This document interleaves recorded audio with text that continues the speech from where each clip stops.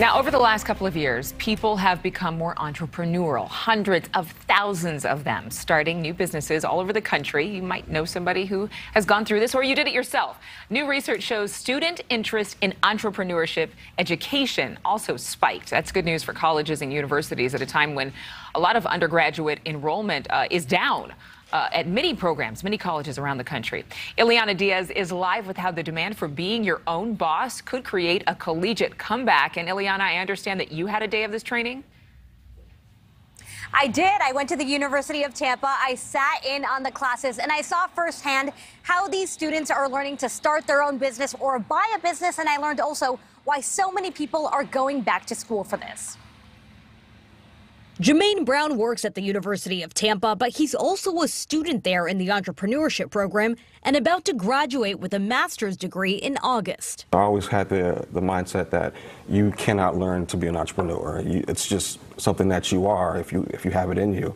But actually going through the program, uh, I can say that this is something that you can learn. The University of Tampa's Lowth Entrepreneurship Center launched 10 years ago with the help of director Rebecca White. More and more people recognize uh, entrepreneurship is a, a pathway to realizing their personal and financial goals in life. Now the university has an innovative learning center where students don't just study, they create here. And many graduate the program as business owners. So it's a, it's a very unique and dynamic program. And it's put the University of Tampa on the map. It's one of the top entrepreneurship programs in the country, and the director says it's really a program for everyone. It's a way that you can really live your life. So, what we're seeing is that a lot of students want to gain the skills of entrepreneurship and apply them in a lot of different formats. How long? This is true for Dr. Dean Koutroumanis. He sat in these rooms decades ago as a student, then started his own restaurants, and now he's back here teaching. To see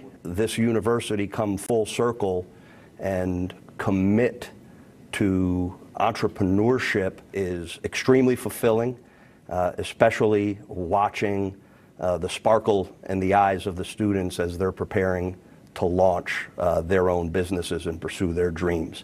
Because, uh, uh, you know, I had that sparkle. A sparkle and a lesson that's now inspiring the next generation of entrepreneurs to dream big. Seeing how resilient they are that lets me know that okay, I'm not definitely I'm not at that level yet, but it's going to be okay if I fall and if I fail. You know, just dust myself off and continue to keep going forward. And that's one of the biggest lessons that everyone says they've learned in that program. Hundreds of people have graduated from the program, Adrienne, and the director says that about 80% of all graduates start their own companies. Wow, those are good numbers. Ileana, thank you so much. Yeah, this is a trend I do not see going away, especially in the rise of influencers and vloggers and YouTube celebrity. I mean, it's just people are doing their own thing. Thank you for watching. Go to newsnationnow.com to find News Nation on your television provider. And don't forget to click the red subscribe button below to get more of News Nation's fact driven, unbiased coverage.